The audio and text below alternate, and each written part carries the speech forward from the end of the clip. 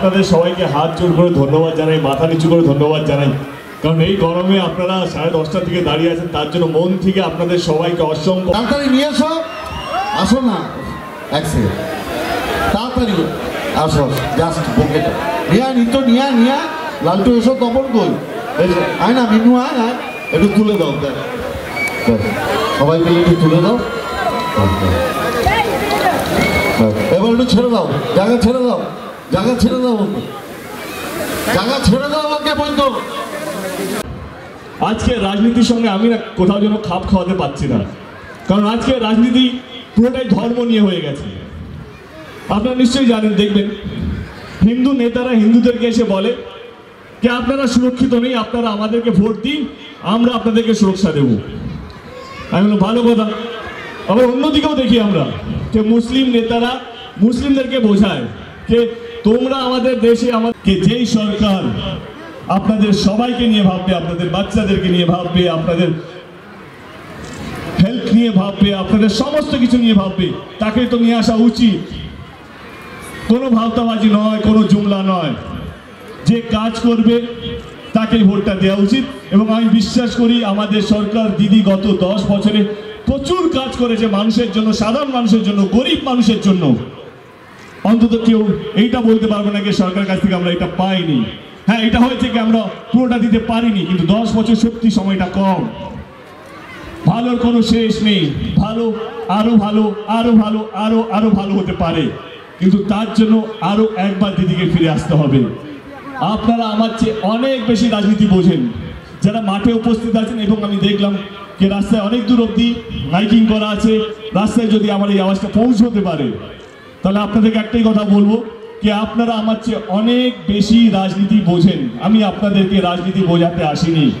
আমি শুধু এইটুকু বলতে এসেছি, এই নির্বাচনটা মন্দির বানানো বা মসজিদ বানানোর জন্য নয়, এই নির্বাচনটা আপনাদের বাচ্চাদের ভবিষ্যৎ বানানো, এই নির্বাচনটা আপনার ভবিষ্যৎ বানানো, এই নির্বাচনটা বাংলাকে শান্তিতে রাখা, নয় বাংলাকে ভাগ করা।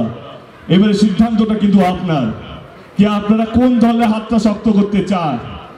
যে শুধু ধর্ম নিয়ে রাজনীতি করে, না যে শুধু মানুষকে নিয়ে ভাবে, যে কোনো ধর্ম হোক না কেন, মানুষ যেন সুখে থাকে, মানুষ যেন ভালো থাকে, করোনা হোক বা যে কোনো সময় হোক, দিদিকে আপনারা এক পায়ে পাবেন আপনার পাড়ায়, আপনার গ্রামে, আপনাদের অঞ্চলে। এইটাই হচ্ছে আমাদের সরকারের ঐতিহ্য। দু হাজার চোদ্দোতেই একই কথা বলেছিল, আমরা যদি সরকারে আসি, আমরা দেশটাকে সোনার চিড়িয়া করব, সোনার পাখি করব। আপনারা জানেন কি? গত সাত বছরে দু হাজার চোদ্দ থেকে দু হাজার একুশ দেশের অর্থনীতি অবস্থা গত পঞ্চাশ বছর থেকেও খারাপ। তারা বলছে, বাংলাকে সোনার বাংলা করবে। আরে, দেশটাকে বাঁচান, সমস্ত কিছু বিক্রি হয়ে যাচ্ছে আমাদের দেশে। এবারে চলে আসি, যারা বলছে কি আমাদের দেশ, আমাদের রাজ্যে। আমরা যদি সরকারে আসি, তাহলে আমরা প্রত্যেকটা বাড়ি পাকা করে দেবো। আমি খুব ভালো কথা। পাকা বাড়ি হলে আমার নয়, আমাদের রাজ্যে প্রত্যেকটা মানুষের লাভ হবে। এবারে চলে আসি, এই একই লোক যখন গুজরাটে গত বছর ট্রাম্প এসছিল, তখন এয়ারপোর্ট থেকে স্টেডিয়াম অবধি রাস্তার দুদিকে দেয়াল তৈরি করা হয়েছিল। কারণটা কি জানেন? যাতে গুজরাটে বস্তি, ঝুঁকিগুলো ট্রাম্পের চোখের সামনে না আসে। এবার তারা বলছেন, বাংলায় পাকা বাড়ি করে দেবেন। আমি তো বলছি, আগে গুজরাটে পাকা বাড়ি করুন, আপনারা অনেক দিন ধরে ওই সরকারে আছেন। জয় বাংলা, আবার বাইশ তারিখে নির্বাচন এখানে। নম্বর ইভিএম মেশিন আপনাদের যদি মনে হয় যে আমার দল দিদি সত্যি মানুষের কাজ করতে পেরেছে, কোনো জুমলাবাজি নয়, কোনো কিছু নয়, সত্যি মানুষের কাজ করতে পেরেছে এবং সমস্ত ধর্মের মানুষ, সমস্ত শ্রেণির মানুষকে নিয়ে কাজ করতে পেরেছে, তাহলে পার্থ, পার্থবাবুর বাইশ তারিখে ইলেকশনে তিন নম্বর ইভিএম মেশিনের বাটনটা টিপে বিপুল ভোটে জয়যুক্ত করবেন খেলা হবে। খেলা হবে, তবে এটুকু বলব, কে যারা মানুষকে ভালো রাখবে, সেই ভালো রাখার খেলা হবে। হবে? যারা মানুষকে শান্তি রাখবে, শান্তিতে রাখবে, সেই শান্তির খেলা হবে। যারা মানুষকে উন্নয়নের পথে নিয়ে যাবে, সেই উন্নয়নের খেলা হবে। এবং যারা রাম আর রহিমকে আলাদা করবে, তাদের খেলা শেষ হবে। হবে? এবং যারা রাম আর রহিমের মাঝখানে দেয়াল তৈরি করবে, তাদের খেলা শেষ হবে।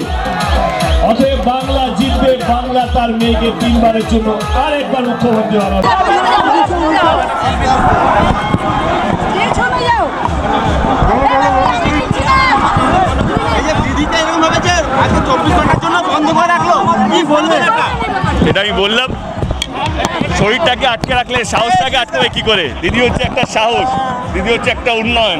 আমার মনে হয় কি ঘরে ঘরে পৌঁছে গেছে দিদি। আর কীভাবে নির্বাচন কমিশন এবং যেভাবে একটা খারাপভাবে পুরো ব্যাপারটা বায়াস হয়ে পুরো ডিসিশনটা নেওয়া হচ্ছে। আমার মনে বাংলার প্রত্যেকটা মানুষ বুঝে গেছে এবং দ্বিতীয় মে তার রেজাল্টটা আপনারা সবাই দেখতে পাবো। নন্দীগ্রামটা কি অবস্থা হচ্ছে? নন্দীগ্রাম বিধানসভা যেটা হাই প্রোফাইল বিধানসভা। দেখো অনেস্টলি স্পিকিং তুমি যদি আমাকে জিজ্ঞেস করো আমি তো বলল দিদি চোখ বন্ধ করে জিতছে। কারণ আমি নিজে প্রচারে গেছি। আমার মনে হয় বিজেপি কাউকে জিজ্ঞেস করলে তারা বলবে শুভেন্দু জি- শুভেন্দুদা জিতছে। তো সেই জায়গায় না এখন এইসব জিজ্ঞেস করে লাভ নেই। দ্বিতীয় মে ইলেকশন হয়ে গেছে নির্বাচন হয়ে গেছে। দ্বিতীয় মে যখন ব্যালট বক্স খুলবে তখন আমরা সবাই জানতে পারব। আমার নাম মমতা ব্যানার্জি নই। আমার মনে হয় দিদি যেটা বলেছে দিদির কাছে প্রশ্ন উত্তর নেই বা স্পোক পার্সন যারা আছে তারা উত্তরটা দেবে। এটাই বলব কি শান্তিপূর্ণভাবে ভোটটা হোক এবং ধর্ম নিয়ে যে রাজনীতি করছে সেই হাতটা শক্ত করবেন না। উন্নয়নের হাত উন্নয়নের কাজ যারা কাজ করেছে তাকে ভোটটা দেবেন। এবং আমি বলতে পারি কি দিদি গত দশ বছর প্রচুর কাজ করেছে বাংলার মানুষের জন্য। সেই নিরপেক্ষে ভোট হলে দিদি চোখ বন্ধ কারণ আমি বললাম আমি ভগবান নই। সবাই আমাদের এখানে ভগবান। তারা বলছে দুশো পাবে আড়াইশো পাবে। আমি বলতে তারা নির্বাচন করার দরকারই কি? এত করোনা বাড়ছে বন্ধ করে দাও নির্বাচন। দুটো টাকা টাকা বর করে যেদিকে দুইটা বেশি যাবে সেদিকে যে সিম্পল খেলা হচ্ছে। খেলা হচ্ছে।